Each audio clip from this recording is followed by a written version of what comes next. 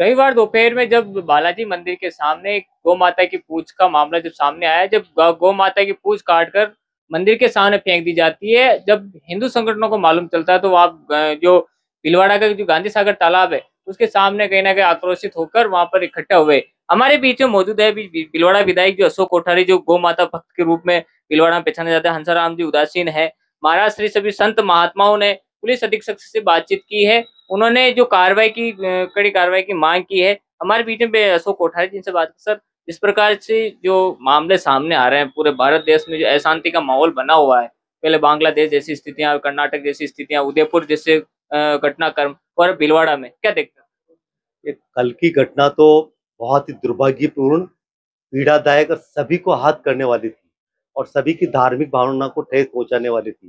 गौ माता को तो उन्होंने पीड़ा दी है ये सही है कि पूरे देश भर में कहीं कहीं लोगों की ये स्थिति चल रही है और बांग्लादेश की स्थिति तो अपन सबसे परिचित ही है। तो अभी भीलवाड़ा के लिए इन्होंने आठ लोगों को पुलिस प्रशासन से अपन निरंतर संपर्क में थे, आठ लोगों को इन्होंने गिरफ़्तार किया है। अभी सही व्यक्ति डिटेन नहीं हुए हैं। सही व्यक्ति का होने के बाद, पता लगने के बाद उनके खिलाफ कठोर कार्रवाई की जाएगी।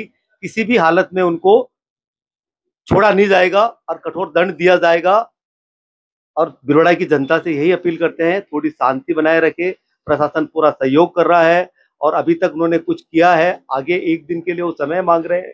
जैसी ये स्थिति बनती है उनके साथ कठोर कार्रवाई की जाए हमारे बीच में महामंडलेश्वर हंसराम जी उदासीन मौजूद है। गुरु जी महाराज श्री आप हमेशा कहीं ना कहीं हिंदुत्व की आवाज़ उठाते आए हुए हमेशा किसी न किसी तरीके से जो गौ माता पर जिस प्रकार से कुठाराघात हुआ एक तरीके से उसको आप कितना देखते हैं?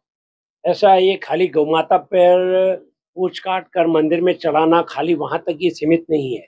ये इनकी कोई सोची, समझी और इसके पीछे बहुत बड़ा षड्यंत्र है जो राजस्थान, जिस तरह उदयपुर में अभी अशांति इन्होंने फैलाई, उसी तरह ये भीलवाड़ा से पूरे राजस्थान में फैलाना चाह रहे हैं।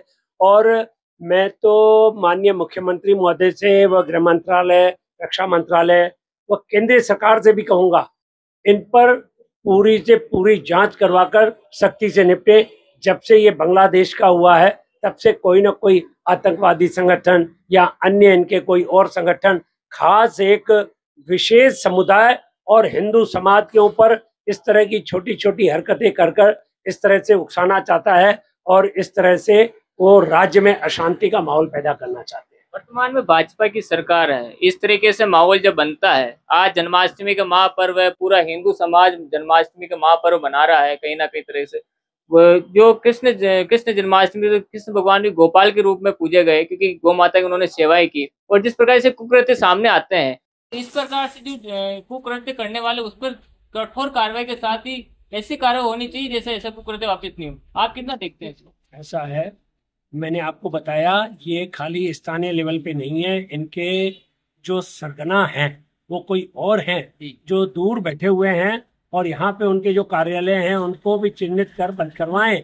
और जानबूझ के जब जब भी आज जन्माष्टमी नहीं, जब जब भी हिंदुओं के त्योहार आते हैं, ये लोग ऐसे कृत्य करते हैं और हिंदू समाज के त्योहारों में विघटन करते हैं। मैं तो प्रशासन से ये कहूँगा, व केंद्र सरकार से भी ये कहूँगा, जो इस तरह के से अवांछित हैं, उनको सख्त से सख्त कार्रवाई कर, कठोर से कठोर दंड दिया जाए, जो सिर्फ़ गौ माता की पूछ काट कर नहीं हिंदू समाज को उकसाने के लिए देश में ही पूरे अशांति फैलाने का कार्य कर रहे हैं। उनको कठोर से कठोर कार्रवाई करनी चाहिए। कठोर से कठोर कार्रवाई के महेंद्र श्री मोहन शरण जी महाराज महाराज जिस प्रकार का माहौल पूरे देश भर में फैल रहा है। वो बांग्लादेश की बात कर लो, कर्नाटक की बात कर लें, उदयपुर की बात कर लें, जयपुर की बात कर लें, भिलवाड़ा की तक बात कर सकते हैं। तो इस प्रकार से गौ माता पर कुठारा घाट और महिलाओं पर अत्याचार इस तरह की घटना कब कब बंद होंगी?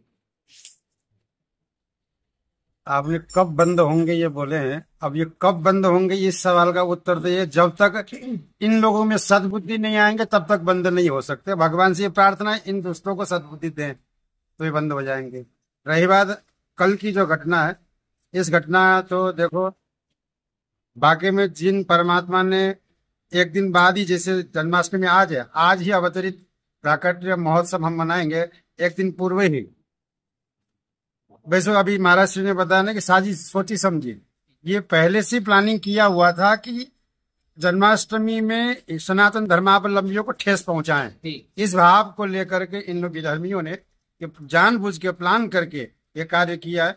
मैं तो यही कहूँगा कि अभी जो माहौल देखो कल से हम भी देख रहे और अग्रेसिव होना भी जायज़ है कि कोई भी अपनी माता अपनी बहन और अपने स्त्री के ऊपर कोई अगर विधर्मी आकर के अपशब्द या अभद्र कोई व्यवहार करता है, निश्चित है, वो भक्त तो निश्चित विचलित होगा ही।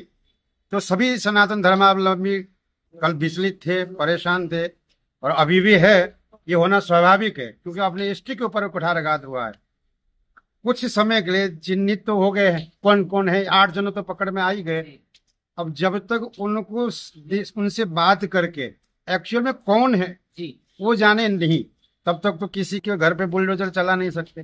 जैसे सभी हिंदू सनातन धर्मावलंबी और संगठन आदि सभी के यही मांग है कि बुलडोजर चले। और चलेंगे क्योंकि निश्चित है चलेंगे। पर जाने तो सिर्फ़ कौन सा घर है? तो वो अभी कर रहे हैं। कल से देखो सभी संत समाज वाकई में इस बार तो आ, संत समाज इस भीलवाड़ा में पहली बार है। कि रोडों पे बैठ गए। तो वो ऐसे ही नहीं बैठे क्योंकि संत समाज ही नहीं, समस्त समाज, बहुत पीड़ा है। वो देख रहे संत समाज रोड पे बैठे हैं। निश्चित होगा, एसपी साहब कर ही रहे हैं कार्य, प्रशासन काम कर ही रहे होगा, और ज़्यादा से ज़्यादा, कठोर से कठोर दंड उनको मिले, ये सब आग्रह हम करते हैं। आपने भी जो राजा दुष्यंत पुलिस अधीक्षक उनसे आपने बातचीत की है। इसके बाद जिस प्रकार से कल का जो माहौल था, पूरा वातावरण चेंज हो गया थोड़ी देर, पता नहीं चल पा रहा था क्या होगा, क्यों नहीं मगर जो परिस्थितियाँ हैं वर्तमान स्थिति की आज जन्माष्टमी पर्व पूरे हर्षोल्लास से पूरे भक्तगण मना रहे हैं अलग अलग मंदिरों में साथ सजावट की जा रही है।